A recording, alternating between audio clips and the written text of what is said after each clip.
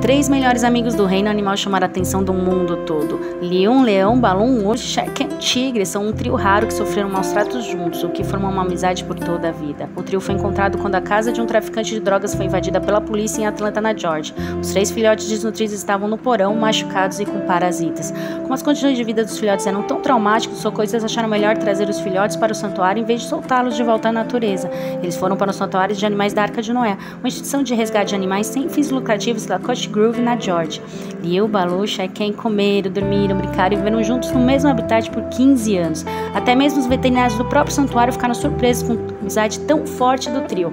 Em 2016 e 2018, Liu e Shaiken infelizmente faleceram. Balu foi em ambos os enterros. Balu agora conta com todo o apoio da equipe do santuário, que nunca deixou ele sozinho como os amigos faziam. O trio deu uma lição ao mundo e mostrou que a verdadeira amizade só depende do amor.